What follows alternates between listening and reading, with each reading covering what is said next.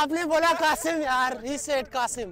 I love challenges तो आपके life में जब मुश्किल टाइम आता है उसमें आप बहुत सारी चीज़ें सीखते हो अल्लाह ताला आपको स्ट्रॉन्ग बनाता है और वही टाइम होता है कि ये कितना बड़ा प्लेयर बन सकता है या नहीं बन सकता जब आप पे मुश्किल टाइम आता है। अगर ऐसे बैट्समैन खड़ा है 52 हाँ, या 60 रन से कोई आउट नहीं है तो मिड विकेट हमें पीछे रखना पड़ेगा। हमने तो वो प्रैक्टिस करनी है। अगर आप कहते हो कि ऐसी सिचुएशन आएगी ना हाँ। तो हमारा विकेट एक ऑप्शन नहीं वो तो डेफिनेट सी बात है मेरे लाइफ में जितने भी चैलेंज आते हैं मैं इसको इस तरह लेता हूँ कि हाँ ये एक टाइम आया और ये दो तीन महीने अल्लाह ताला अगर मैं मेरे ऊपर एक टेस्ट आया तो मैंने इसको कैसे पास करना है तो हर दिन ये सोचता हूँ कि ये टाइम भी गुजर जाएगा He is one of the most skillful bowlers in Pakistan.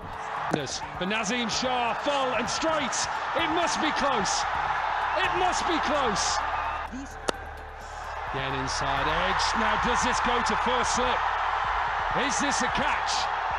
सबको ये यू नो होता है कि फ़ास्ट बॉलर को के इंजरी के बाद मेरी जो पेस है वो कम ना हो मैंने बहुत ज़बरदस्त रिहेब की है और रिहेब बहुत इंपॉर्टेंट होता है Naseem Shah obviously as a person very nice guy तीन चार सालों में काफ़ी क्रिकेट साथ खेले हैं पाकिस्तान टीम से भी और बॉलर तो दुनिया ने देखा है कि मतलब how good bowler he is हम भी हम इस्लामाबाद से साथ खेल रहे हैं तो जहरी बात है प्रेशर वगैरह काफ़ी रहता है और काफ़ी मतलब ग्राउंड में इंटेंस माहौल रहता है। और वो एक ऐसा बंदा है जिसके साथ ऐसी चीज़ें कर सकते हैं, कोई भी मज़ाक कर लें, वो कभी मतलब बुरा नहीं बनाएगा और वो भी मतलब मज़ाक वगैरह करता रहता है।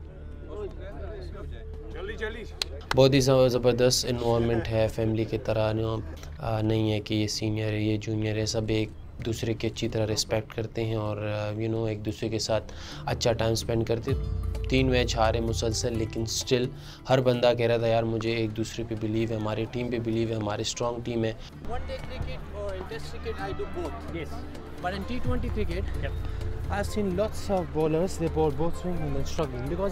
मेरे लिए तो वो बहुत एक सुपरस्टार है।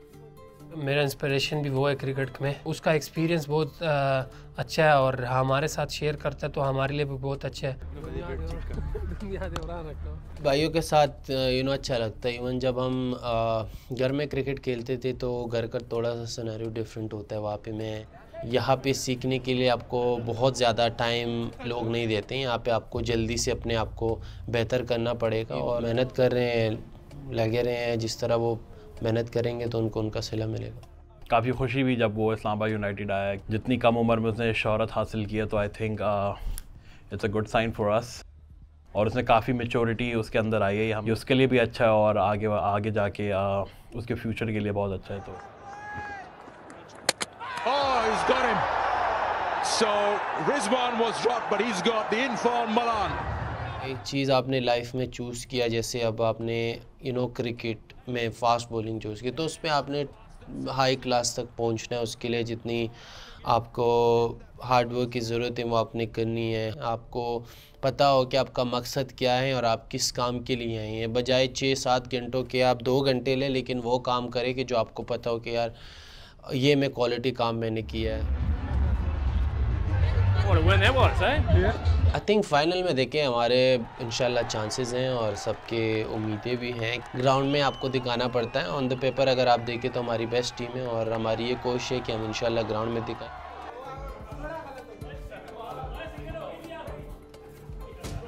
टफ़ है ये, लेकिन मेरे ख्याल से कि पिशावर जलमी और मुल्तान में से एक फ़ाइनल खेलेंगे हमारे साथ इंशाल्लाह